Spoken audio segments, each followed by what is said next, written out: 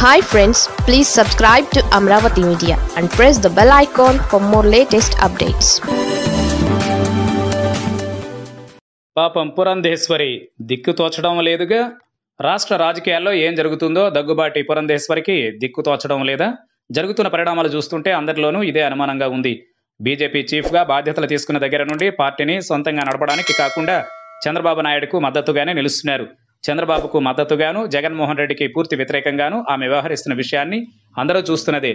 ఇక్కడ గమనించాల్సింది ఏమంటే తమతో మిత్రపక్షంగా ఉన్న జనసేన అధినేత బీజేపీతో కాకుండా చంద్రబాబుతో అంటకాగుతున్నారు బీజేపీతో పొత్తులో ఉంటూ టీడీపీతో కలిసి రాబోయే ఎన్నికలలో పోటీ చేస్తామని ప్రకటించేశారు. పురంధేశ్వరికి కూడా బావ చంద్రబాబుతో కలిసిపోవాలని ఉన్నట్లే ఉంది చూస్తూ ఉంటే. అయితే ఈ విషయాన్ని డిసైడ్ చేయాల్సింది నరేంద్ర మోడీ అమిత్ షా మాత్రమే. వాళ్ళేమో చంద్రబాబును ఎంత వీలుంటే అంత దూరంగా ఉంచుతున్నారు. ఇదే సమయంలో జగన్ ప్రభుత్వంపై పురంధేశ్వరి ఎన్ని ఆరోపణలు చేసినా కేంద్ర మంత్రులు వాటికి విరుద్ధంగా ప్రకటనలు ఇస్తున్నారు. ఇవన్నీ చూస్తూ ఉంటే ఏం చేయాలో పురంధేశ్వరికి దిక్కు తోస్తున్నట్లు లేదు. సొంతంగా పార్టీ లైన్ తీసుకునేందుకు లేదు. కేంద్ర నాయకులేమో ఈమె ఆలోచనలకు విరుద్ధంగా వ్యవహరిస్తున్నారు. తమ మిత్రపక్ష పార్టీ ఏమో టీడీపీతో కలిసి ఎన్నికలలో పాల్గొంటామని ప్రకటించేసింది. ఈ పరిస్థితుల్లో బీజేపీని ఎలా ముందుకు నడిపించాలో పురంధేశ్వరికి అర్థం కావడం లేదు. ఇదే సమయంలో చంద్రబాబు అరెస్ట్ రిమాండ్ విషయంలో కూడా పురంధేశ్వరి తన సొంత ఆలోచనలను అమలు చేయలేక పార్టీ విధానానికి కట్టుబడి ఉండలేక అవస్థలు పడుతున్నారు.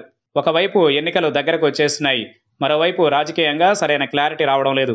చంద్రబాబు టీడీపీ విషయంలో జగన్ తన పని తాను చేసుకుపోతున్నారు. నరేంద్ర మోడీ ఏమో ఏమీ పట్టనట్లు చూస్తూ కూర్చున్నారు. వీళ్ళ వైఖరి కూడా పురంధేశ్వరికి అర్థమవుతున్నట్లు లేదు.